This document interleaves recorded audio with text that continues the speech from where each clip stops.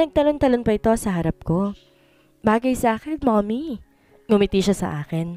Yes, baby. I love you. Hinalikan ko siya sa noo. I love you too, mommy. Forever. Pinupog niya ng halik ang aking mukha. Let's go na. Nagaantay ang ninang mo. I carried him as we moved out of his room. Pinicturan mo kami dito, Kat. Dali. Ang ganda ng background, oh. Mabilis na inabot ni Katie ang cellphone niya sa akin at tinawakan sa kamay si Sam. Hindi naman nagreklamo ang anak ko.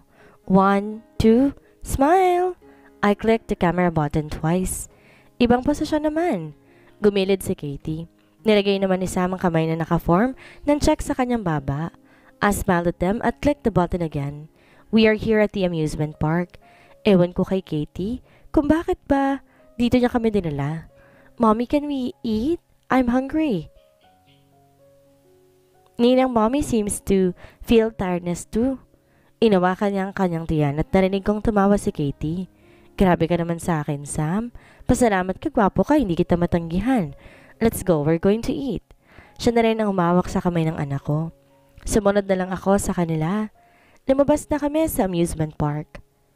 At sumakay sa kotse ni Katie. Sampung minuto lang tinagal ang biyahe namin bago nakarating sa isang restaurant. O sige na Sam, order all you wanna eat. Sabi ni Sam sa mga gusto niya. Natatawang binilingan ni Katie ng tingin ng mga pagkain nasa table. Gusto mo atang tumaba, Sam? Di siya pinansalito at kumain na lamang. Snobber din pala. Hinila ni Katie ang upuan niya papalapit sa akin. Hay nako, Kat. Habang tumatagal, nag-uugaling na itong anak mo, ha? Halatang masyadong anak ng pinsan ko. Gantong-ganto si Dan mga bata pa kami. Pagkukwento naman niya. Tinignan ko ang anak ko. He's eating like there is no us existing. Parang walang pakialam sa kanyang paligid. Yeah, right. I remember Dan. He is a snobber but when it comes to me, he cannot resist me. Pero ilang beses ko na siya nakita ng i-snob na ibang babae. Minsan pa nga narinig ko yung sinasabi niya eh. Huwag daw siyang guluhin dahil magagalit yung asawa niya. Alam mo ka, di na ako magtataka. Kung isang araw magiging dan tong si Sam. Ngayon pa lang ibang galaw ni Sam. Galawan ng tatay niya. Grabe ang lakas ng dugo ni Dan. Tingnan mo, oh. Tinuro niya mukha ni Dan na seryoso pa rin kumakain. Look at his face, kahit sang angulo tingnan. Si Dan talagang sinisigaw. Natatawa pa siya. Can you stop talking about me? I and Katie both chuckled when Sam glared at us. Narinig niya siguro ang pangalan niya. Sus, kumain ka na nga lang. Huwag mo na lang kaming pansinin. Ubusin mo pa yung in-order mo. Pasangit na ani Katie. Wait, who's Dan by the way?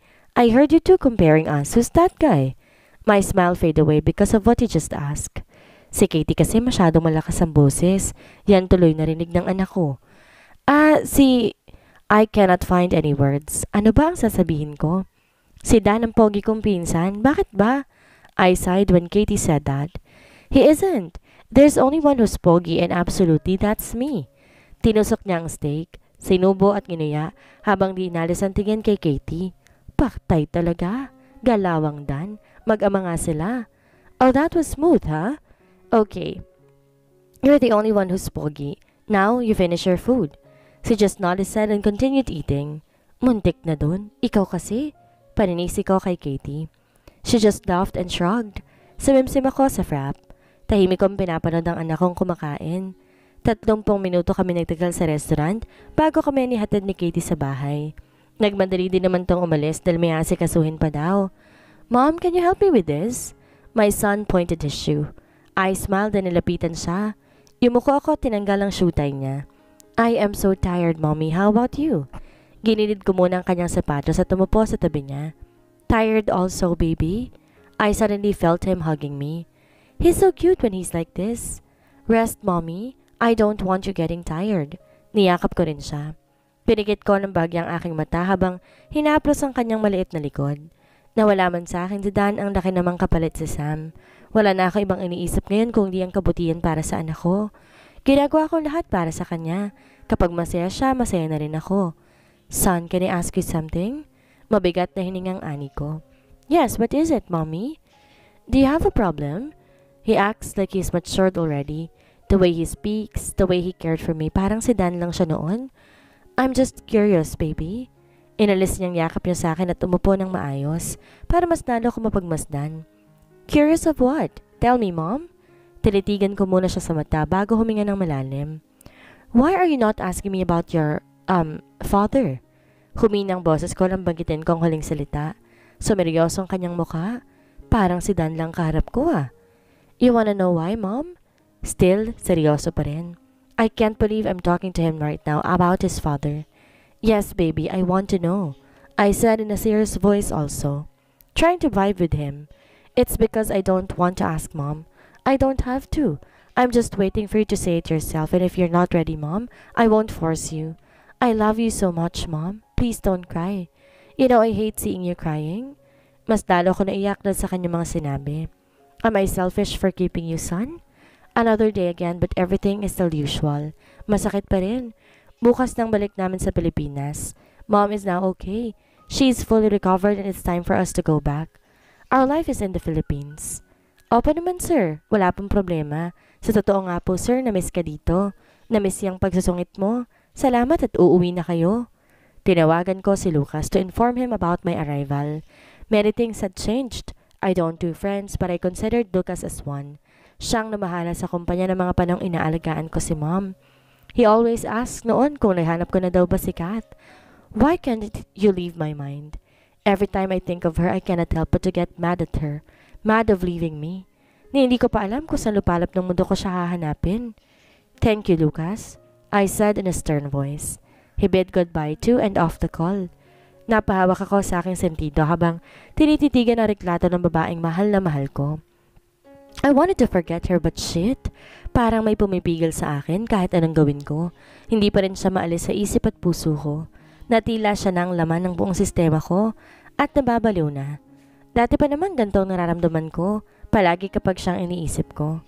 Hinaplos ko ang kanyang mukha sa aking cellphone, mula sa kanyang noo hanggang sa kanyang baba. How could you leave me so easily, woman? Did I do something wrong? But I don't think so. Lahat ng ginawa ko para sa iyo, paano mo ako nagawang iwan?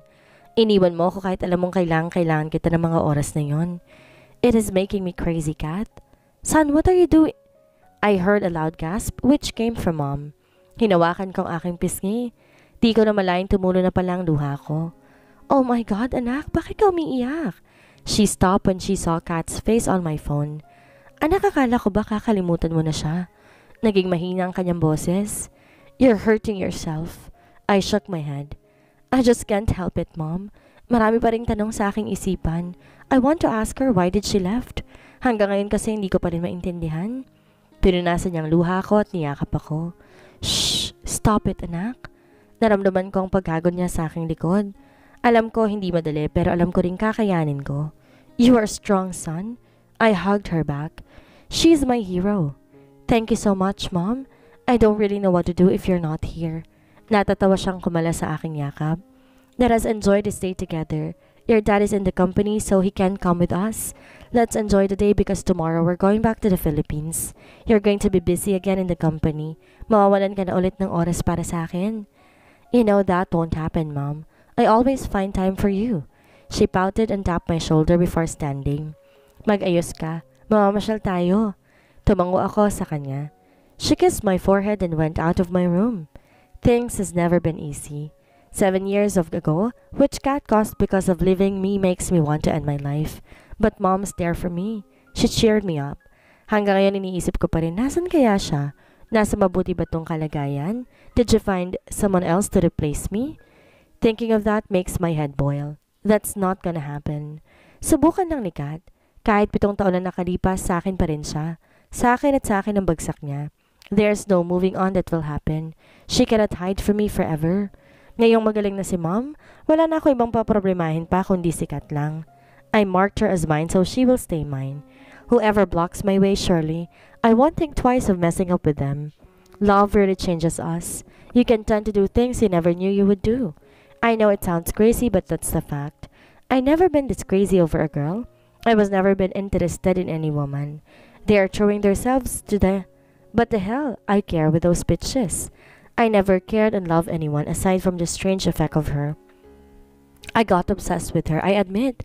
I've done stalking, it's because her effect on me was kind of something very weird. I asked a lot of things about her with Manang Glenn. I even told Manang how I like Kat. Mabuti na lang close ko si Manang dahil siya nag-alaga sa akin nung bata pa ako.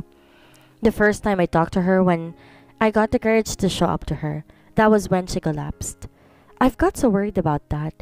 Nabigla ko yata siya. I never planned on making her as my employee, as a secretary, huh? But I could even make her my wife. I was happy that, because of that, I made her mine. Pero hindi ko inakalang sa isang iglap, bigla na lang siyang naglaho. Do you know how painful that is? Hello, Katie. Can you look over Sam for today? Tumawag kasi si Gina at kailangan niya ng tulong sa cafe. You know, I cannot take my son there. May inip lang siya doon. Natutulog pa ang anak ko, kakatawag lang ni Gina at di pumasok ang isa sa mga kasamahan namin kaya kahit di ko schedule papasok ako. Kausap ko ngayon sa tawag si Katie. I would love to, Kat. Wait me, I'll be there. Bye! I said take it to her then bid goodbye and off the call. I want to take Sam with me but I know na hindi ko talaga siya maasikasa sa cafe. Masyado maraming tao baka pa mawala siya. Malayo ang cafe na pinagtatrabahuhan ko dito. Kung saan kami nakatira? Bala ko sana magtayo na sariling cafe pero hanggang ngayon bala ko pa rin. It's not that wala akong ipon pero gusto ko talaga nagtatrabaho under. Sumandala ko sandali sa hamba ng pinto ng kwarto. Tumingin sa mga ulap. Ngayon ang uwi nila. Gaya na sabi ni Katie, I don't know what to feel anymore. Masyadong magulo ang lahat. Masyadong komplikado. Basta ang alam ko, mas mabuting hindi muna sila magkita ni Sam. Naisip ko ulit yung sinabi ng anak ko noong isang araw. It's because I don't want to ask, Mom. I don't have to. I'm just waiting for you to say it yourself. And if you're not ready, I won't force you. Alam ko nangungulila sa pagmamahal ng isang amang anak ko. Bagay na hindi ko alam paano ko magagawa. Masasayahan ba si Dan pag nalaman niyang may anak na kami? Would he accept Sam? Hindi ko kayang harapin ang galit niya sa kung sakaling malaman niya ang tungkol kay Sam. Paano kung saktan niya ako? And what if ilayo niya sa akin ang bata? I would not take that if ever that will happen. Hindi ko kakayaning mawalay sa pili ng anak ko. Sa kanya na lang ako kumakapit. Mahal na mahal ko ang anak ko. Of course, his father too. Muntik na ako mapamura sa gulat ng tumalon si Sam sa harapan ko. Humagikik siya na makita ang reaksyon ko. I pouted my lips. Don't do it again, Sam. Paano kung atakin ako sa ginawa mo? Would you want it? Lumungkot agad ang kanyang mukha at maiiyak na. I'm sorry, Mommy. I was just trying to make you smile. I don't know. Hindi niya na naituloy ang kanyang sasabihin na umagos ang luha mula sa kanyang mata. Damn cat! Shh! No. I'm sorry, son. Please stop crying, baby. I'm sorry I did not mean what I said. I hugged him tightly habang inahagod ang kanyang likod. He keeps on sobbing. Mom, I'm really sorry. I thought I would make you smile if I do that. I did not think of it. I'm sorry, Mom. Sumiksik siya sa leg ko. Binuhat ko siya. Shh! It's okay, son. I love you. I leaned and kissed his forehead. Mom, I saw you. You were sad. You have a problem, Mommy. I wish I can help you solve it, Mom. I really, really hate it when you are sad and when you are crying. Tila ito'y naiinis sa kanyang sarili dahil iniisip niyang wala siyang magagawa. Naiiyak at mas lalo ko siyang niyakap. Promise me, son, that you will never leave your mommy. Promise me that, son. Tumahan siya at tinalikan ako sa pisngi. I will never leave you, mommy. Why would I do that? I don't want to be away from you. I love you so much, mommy. He wiped my tears, then kissed me again on my lips. Hep, hep, hep. Anong drama na naman yan? Kaya aga-aga. Sabay kaming napalingon na magsalita si Kara. May dala itong mga paper bag. Ninang mommy, you're here. Good morning. Buoba sa pagkakabuhat ko, si Sean at nilapitan si Katie. He carried the bags and he put them on the table. Siyempre, sino bang hindi magiging good ang morning kung ganito kakita makikita mo? Masaya akong pinagmasdan na kurutin ni Kara ang pisngi ni Sam. Kukurutin ulit sana niya ang ninang nang lumayo ito sa kanya. Nang bahagya, Katie immediately pouted her lips. Do not pinch my cheeks. That hurts, ninang. Mas lalo pang umuso si Katie na kinatawa ng anak ko. Gosh, pagtawanan ba naman ako ni Sam? Tinuro niya ang anak ko na tumatakbo na papalabas ng pasilyo. Pumasok ito sa kanyang kwarto. Lumipat ang tingin ko kay Katie. Bumaba kami sa kitchen. They're home. Imporma agad ito na makaupo kami. Tabango na lamang ako dahil hindi ko alam kung anong sasabihin. It's okay, Kat. Magiging maayos din ang lahat. Nandito lang ako para sa'yo at kay... Nginitian ko siya. Maraming salamat sa lahat. Katie, I wouldn't know kung saan kami mapupulot ng kahirapan kung sakaling di mo kami tinulungan. I said sincerely as I went beside her to hug her. No worries about it. Pamangkin ko rin siya, kaya hindi na rin siya iba sa akin. Naalala ko may work pa pala ako at kailangan ko nang pumasok. Damn, I forget it. I looked at my watch and it's 8.20. Damn, I'm late. Napasarap sa kwentuhan. I need to go, Katie. Late na ako. Bantay mo si Sam. She nodded and waved her hands as I went out of the house. This would be a long day. Damn, this day is so stressing. Pagkarating na pagkarating namin ng Pinas, ay dumiretso agad ako sa kumpanya. Pinapauwi pa ako ni Lucas para makapagpahinga pero nagpumilit pa rin akong magtrabaho. Isang folder ang nakalagay sa gilid ng table ko pagkapasok ko sa opisina ko. I opened as I sat on my seat. Construction project that will be done in Marinduque. This seems good and fine. Tinawagan ko si Lucas para makit sa opisina ko. Ilang minuto na lang nandito na siya. Bakit po sir? May kailangan po ba kayo? Yumuko ito bilang paggalang pero sinenyas kong kamay ko na wag nang yumuko. Tinaas ko ang folder ko na hawak-hawak ko. Ngumiti pa siya sa akin. Ah, uh, sir, Maganda po ang lupa kung saan ipapatayo ang isang branch ng restaurant na gagawin. At isa pa po sa board na nagrekomenda sa Marinduque. They are just waiting for you to decide if you are to take it or to refuse it, sir. Tumangutango ako sa kanyang paliwanag. Thank you, Lucas. Sige, ako nang bahala. You may go. He nodded me and he went out of my office. I looked again on the paper I was holding. Good choice. I opened my laptop. Sinerge ko ang lugar na Marinduque. Oh, this is a really nice place. Maganda ang mga tanawin. Good for the project. Di na ako nagatubili pa at pinirmahan na ang papel. Pinindot ko ang intercom at pinatakas ulit si Lucas. Sir, dali-dali tong humigpit ng pagkakakapit. Habang hinihingal, tumakbo na lang papunta dito. I already signed this project. I want you to come with me tomorrow. We will be heading in Marinduque to check the land. Nagangat to ng tingin sa akin at mukhang nag-aalala. Sir, kung gusto po niyo maaaring ako na pong pumunta para makapagpahinga na po kayo ng maayos. Kakauwi niyo lang po at alam ko pong pagod po kayo. I shook my head. No, I want to work so that I can divert my attention with the company para kahit sandali hindi ko na muna siya iisipin. No, sasama na ako bukas. At, um, kung yan ang gusto ninyo, sir. Nagpaalam itong lumabas. Naiwan ako sa loob ng office ko. Nilabas ko ang phone ko at aksidente kong napindot ang contacts. Unang lumabas doon ang pangalan ni Katie. I miss her. Bakit di yata ito nagpapakita sa akin? She's not here in Manila. Mom talked to her when we reached the airport. I clicked the call button. Two rings and she answered. Oh, hi there, cuz. Balita ko pumasok ka raw sa opisina. Ikaw talaga, hindi ka malang nagpapahinga. Dumiretso ka agad dyan. Okay, she's there again. She talks like Lucas. Hey there, where are you? Tita said you're not here in Manila. This is new. Hindi naman kasi siya umaalis ng Manila. Ha? Ano, ah, uh, nasa... Ninang mommy, give that back to me. Napukaw ang atensyon ko nang marinig ang boses na yon. Hala, ano dan, bye muna ha. May inaasikaso pa kasi ako eh. Tell mom that I'll be going home one of these days. Himig ang pagkataranta sa kanyang boses, pero hindi ko pa rin makalimutan ang boses ng bata. Nasaan ka, Katie? And who is that little kid? Katie? I wasn't able to finish my word when she hung up the call. At ngayon, binabaan pa niya ako? What happened to Katie? I woke up early in the morning. Usual routine. I called Liam that I will fetch him. Ngayon kami pupunta ng Marinduque. My private investigator did not report any good news to me. Ang galing magtago ni Kat. Nakalimutan kong kamustahin si Manang Glenn. Did not even told her that I'm in the Philippines already. Kinuha ko ang cellphone ko at hinanap ang numero niya. Thanks God, nandito pa rin.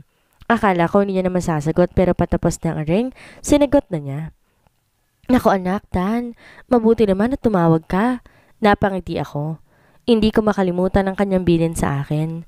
Manang, kamusta na po kayo? Maayos naman ako anak. Ikaw, kamusta na? Kamusta ang mommy mo? At kailan pa lang balik ninyo dito? Mas lalo ako napangiti. Manang pasensya na po at di ko nasabi na nakauwi kami kahapon pa. Tsaka manang okay na si mommy. And me, I'm okay. Huminga ako ng malalim at tinukod ang kamay ko sa table. Naku anak, mabuti naman. Lagi ko kayong pinagdarasal. Kamusta ang paghanap kay Kat? May balita ka na? Kahit si Sanya hindi niya kinokontak, ganun din ako. Nakaramdam ako ng lungkot sa kanyang boses. Wala akong balita sa kanya, manang. Pero wag po kayo mag-alala. Ginagawa ko pa rin po ang lahat. My smile turns into a bitter smile. Kaya mo yan, Dan. Kilala kita. You'll get through this. Nagpasalamat ako sa kanya at pinutol ang tawag. Inayos ko ang gamit ko at bumaba na sa garahe. Sumakay ako sa kotse ko at dumiretso sa bahay ni Lucas. Di ko alam pero meron tong pakiramdam ko na excited akong pumunta na Marinduque. Tila may nag-aantay sa akin doon. Napahinga ako ng malalim at sumandal sa backrest ng sofa. Nakakapagod. Pabalik-balik ako nagsiserve, ang daming tao ngayon. Oh, God. Mamaya na tayo magpahinga, marami pang customer. Pumasok sa Jana may dalang tray. Kukuha ulit ng order. Ngumiti ako at tumayo na. This is job. Even though you're tired, gagawin at gagawin mo pa rin ang trabaho. Table number 6, Kat. Mabilis kong kinuha ang tray sa counter at tinala sa table 6. Enjoy, ma'am, sir. Yumuko ako habang nakangiti. Bago bumalik ulit sa loob ng kitchen. Pinalibot ko sandali ang paningin ko sa paligid at napahinto na makita ang isang pamilyar na taong papasok sa loob ng cafe. What the hell? Am I dreaming? Nanlalaking matang tumalikod ako habang naghahabol ng hininga. Bakit siya nandito? Anong ginagawa niya dito? A real shit. Hindi niya ako pa pwedeng makita dito. Inakap kang tray na hawak ko habang pumapasok sa loob ng kusina. Ang dami ng tanong sa isipan ko. Why is he here? Is this just a coincidence? Pasimple kong sinilip si Lucas na ganun pa rin ang itsura hanggang ngayon. Kausap ito sa Jana na abala sa pag-ayos ng order nito. He smiled to Jana. Nakita kong dalawang espresso in-order niya. Who's with him? Is he with his boss? This is not good. Why are you peeping there? Munti kong mahulog ang hawak na tray dahil sa biglang pagsasalita ni Jen mula sa likod ko. Huwag mo nga akong ginugulat, baka mahampas ko to sa'yo. Sabi ko na makabawi sa gulat. Masyado ako maraming iniisip ngayon. Sino lalaking yun? Ex mo? Sumilip din siya sa glass door kung saan ako nakapwesto kanina. Eh kung hambalusin ko kaya to. Pinagsasabi mo, bumalik ka na nga doon at sadya ng kulitin mo, wag ako? Jin chuckled. Tumayo ako ng maayos at napahinga ng malalim na makitang lumabas si Lucas dala ang kanyang binili. Ikaw mas gusto kong kulitin, Kat. Don't call me Kat. We're not close. Just so you know. I glared at him. He's been like this since I started working here. Unang araw pa lang ng pagtatrabaho ko dito, ganito na to kapilyo.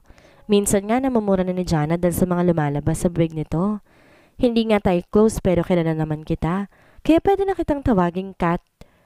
Anong gusto mo? Kinilabutan siya sa mga sinasabi nito. Umalis ka na nga dyan? Sinenyas kong kamay kong umalis sa dinaraanan ko. Walang pagtutol siyang gumilid. Masusunod. He even swayed his hand, freeing the way for me. Di na ako nagsalita pat inirapan siya bago lumakad papunta sa counter. Naabutan ko ang impet na nagtititiling sa Jana habang naghahalo ng kape. Napatas tuloy ako ng kilay. Ang saya natin ah. Anong atin? Umupo ako sa upuan malapit sa kung saan siya nakatayo. Agad lumipat sa akin ang kanyang tingin na kung hindi pa sana ako nagsalita, hindi niya mapapansin na wala ako dito. Grabe, ang gwapo ng customer natin kanina. Galing daw ng Maynila. Parang nahihibang pa tong tumingin sa nilabasan ni Lucas kanina. Alam ko na si Lucas ang tinutukoy niya dahil siya lang naman na nakita kong dayo na pumasok dito. Halos lahat ng customer dito madalas kong makita. Ang ganda ng boses niya, grabe. Okay, she's in her fantasy again. Pero hindi ko siya masisisi dahil gwapo naman talaga tong si Lucas. We cannot deny it. Ang gwapo-gwapo pa. Gosh, Kat, para ko nasa langit kanina. Tumingalapat na sa langit at natatakpan ng bubong. Sinong gwapo? Ako ba? Magsasalita sana ako nang naunahan na ako ni Jean nakapapasok lang. Agad na sumama ang timpla ng mukha ni Jana nang makita sa Jean. Lumabas ka nga, di ikaw ang tinutukoy ko. Umirap si Jana. Natatawa namang lumapit sa Jane at tuminto sa harap mismo ni Jana. May dalaw ka, te? Hindi ka mapigilan ng pagtawa ng pinguti ni Jana sa tenga sa Jane. Huwag mo kong pinaglululukod, Jane Escondido. Baka maprito kita ng buhay. Gigil na gigil na ani Jana. Aray, aray, ito naman masyadong halata, nagbibiro lang. Sinaman sa ng tingin ni Jana at saka umira pa rito. Wow ha? Well, hindi ka nakakatawa. Dali mo na nga to sa table number 12. Iniabot nito ang tray ko sa nakalagay ang kape. Kinuha to na Jane at walang pasabing iniwan kami ni Jana sa counter. Buwisi talaga yan, di na nagtanda. Ipiprito ko talaga ng buhay kapag di pa tumigil. Masanay ka na dyan. Ani ko at tumayo na. One latte and burger. I nodded at sinimulang ihalo ang kanyang kape. Ganon din ang burger. Maayos kong nilagay sa tray at nilala sa table ng babae at bumalik agad ako sa counter. Aba na rin si Jana ngayon at si Jin din. Dalong dumami ang tao. Late na ako nakauwi sa bahay dahil sa dami ng customer. 10pm na. Tulog ng anak ko. Si Katie nabutan ko naghihintay sa akin. Buti nakauwi ka na Kat. May sasabihin ako. Maayos ko nilapag ang bag at pagod na mo po sa tabi niya. What is it? Eh ano kasi, tumawag kanina si Dan? Parang nawalang antok at biglang napaayos sa upo. Ano sinabi? Tinatanong ko nasan daw ako pero hindi naman yun yun kasi eh, she looked at me at parang kinakabahan. Ganito kasi, habang kausap ko siya, biglang nagsalita tong si Sam. I'm sure Dan clearly heard Sam kasi nagtatanong siya kung sino yung nagsalita. Ayun, nataranta ako at pinatay ko yung tawag. Diyos ko talaga, Kat. Her hands are sweating. Oh my gosh, ano ba naman, Katie? Tuloy ako sa mga sinabi ko. I immediately apologized to her. Tama siya. Di naman niya alam na gano'n na mangyayari. Masyado akong overreact. Gulat siyang napatingin sa akin. Katie, nakita ko kanina si Lucas. Nanlalaki ang mata niya. What? That means he is here in Marinduque? What's he doing here? Did he saw you? She attentively looked at me. Technically, yes. Nakita ko siya sa cafe kanina but I don't know kung anong ginagawa niya dito. At hindi niya ako nakita. Mabuti nga lang nakapagtago ko ako una nakakita sa kanya at hindi siya. Nako, di ko talaga alam ang gagawin pag nakita niya ako doon, Katie. Si Lucas lang bang nakita mo? Di niya kasama si Dan? Tumango ako. Magpahinga na nga tayo. Maaga pa ako babalik ng Manila bukas. Nabuking pa ako ni Dan kanina dahil nga nasabi ko nasa Maynila ako. Himotok nito. Huminga ako ng malalim at tumayo na. Good night, Katie. Good night then, Kat. Nagbihis ako, tinahak ng kwarto ni Sam. Maingat na binuksan ang doorknob para hindi siya magising. Umupo sa kama at marang hinaplos ang kanyang buhok. Ang himbing ng tulog niya. Mahal na mahal kita, anak. I'm sorry kung di mo nakilala ang ama mo nang dahil sa akin. Hinalikan ko siya sa noo at lumabas ng kwarto niya. Bumalik ng aking silid at pagod na sumalampak sa kama. Naisip ko si Dan. How is he? Siguradong busy siya sa kumpanya niya at baka din naman hindi niya na ako ipahanap. Wala nang nabanggit sa akin si Kara tungkol doon. I'm thinking that why would he look for me by the way? Dapat nga kamuhian niya ako dahil sa pananakit ko sa kanya. Kasalanan ko kung ba't siya nasasaktan. I don't deserve his love. Mahal na mahal ko siya pero ako mismo ang tumalikod. Sa takot ko sa nagawa ko sa mommy niya, mas naging dawag ako. Wala akong karapatang masaktan dahil ako may kasalanan. I hurt him. Sinaktan ko yung taong walang ibang ginawa kundi ang intindihin, mahalin at alagaan ako. Napagulol ako. Isinubsob kong aking mukha sa unan. Di ko na malayang nakatulog na pala ako. Nagising ako sa mahinang tapik sa aking balikat. Unti-unti kong minulat ang mahapdi kong mata dahil sa kakaiyak ko kagabi. Nakita ko si Katie na nakapagpalit na. Ayaw o nga pala ngayon ang balik niya ng Maynila. O na paano ka? Bakit mugto yung mga mata mo, Kat? Yumuko ako ng bahagya. Napansin niya. Wala, aalis ka na? Sabi ko na lang. Oo, tulog pa si Sam. Alas 4 pa naman kasi.